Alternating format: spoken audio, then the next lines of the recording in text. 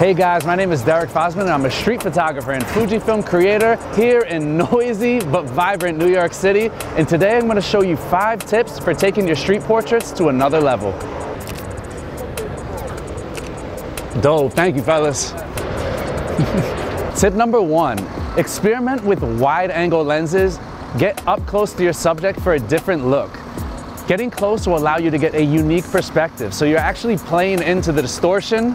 It's not very flattering, but we're not doing fashion, we're not doing headshots, we're out here in the streets. So a lot of the characters that you're gonna be taking pictures of anyway have a look to them that is gonna be accentuated by getting up close and shooting wide. For those of you that are normally using 35 millimeter, 50 millimeter, try going to 24 millimeter. I will get right up in people's faces with a 24 millimeter equivalent because it makes my portraits more interesting.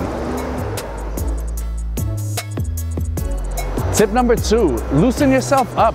Before you take the pictures, talk to people on the street. I'll compliment people. I'll say, hey, nice hat, nice shirt. It's kind of like the idea that practice makes perfect. It will get you ready for that moment when you need to shine. If I see somebody walking by, there's something I like. What's going on, man? Going How you? I'm all right. All right, good. Good to see you.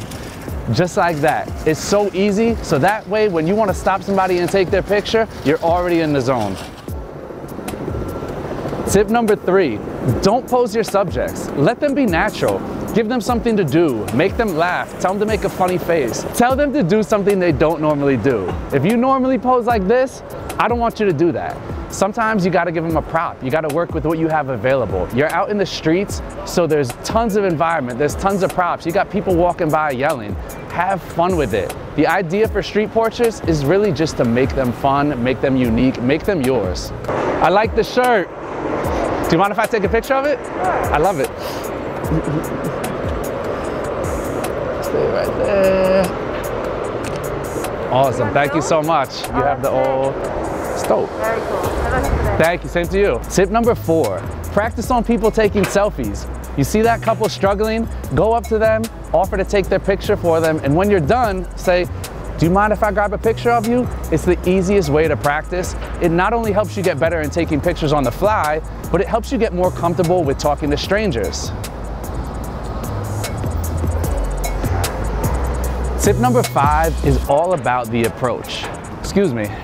How's it going? My name's Derek. I'm a street photographer. Yeah? I love your style. Oh, I take pictures of style in the street. Do you mind if I grab a portrait of you? Uh, quickly. please. Awesome.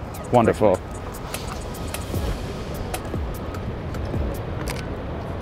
Thank you. Have a wonderful day. Be polite, smile. Stop them, introduce yourself, tell them what you do, tell them why you stopped them, throw them a compliment. People love to be complimented. Ask for the portrait politely. He had to be out of here really quick, so I'll make it quick for him. It's that simple.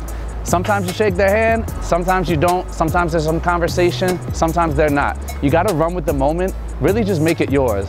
When you're genuine, people see that. Respect them, respect their time, respect the fact that they're gonna stop and let you take a photo of them. Sometimes it's a quick thing, sometimes it's a drawn out thing. You just gotta use your judgment. Go out there, get them, have fun, use those five tips, and go out there, make your portraits unique, make them your own. Try to stay away from the cliche. Thank you for sticking with me through these five tips. You can find me on Instagram at Like a Machine and my website, likeamacheen.com. Out.